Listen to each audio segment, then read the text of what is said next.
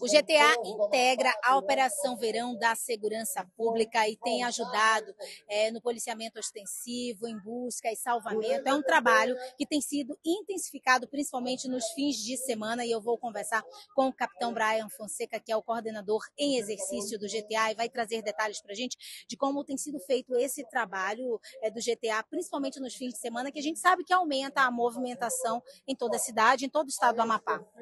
GTA é apoio a toda a segurança pública, né? E não poderia ficar de fora aí da Operação Verão 2024, aonde foi feito todo o planejamento de segurança para as pessoas que irão se divertir, que estão de férias, irão para os balneários é, da, da capital e dos municípios do estado.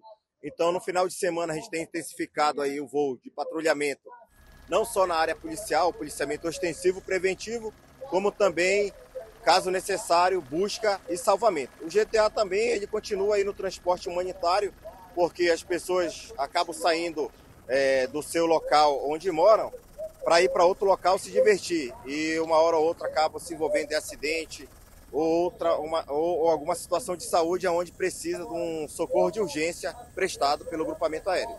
GTA está de prontidão a todo momento, mas a gente sabe que nesse período de férias aumenta geralmente a demanda, a movimentação, então há essa necessidade de se ter um planejamento mais específico também. Sim, com certeza. Nosso pessoal aí é, se prepara aí para atender principalmente busca e salvamento, né? A gente pode acontecer situação de naufrágios, situação de afogados e até mesmo é, na área policial, onde alguém ali comete um crime e se evade para uma área de difícil acesso. Então, essa movimentação intensa de férias e, e do comércio, então, ali exige que o nosso pessoal esteja em prontidão ali para dar uma resposta para a população.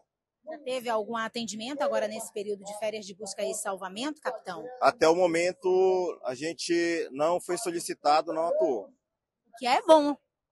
Sim, com certeza, é um salto positivo. A prevenção está é, surtindo resultado, né? Não é só o grupamento, a gente tem as outras unidades aí, tanto da Polícia Militar, Corpo de Bombeiros, Corpo de Bombeiros empenhado nessa missão. Tá certo, muito obrigada, capitão, pelas informações. Eu fico por aqui, é com você no estúdio.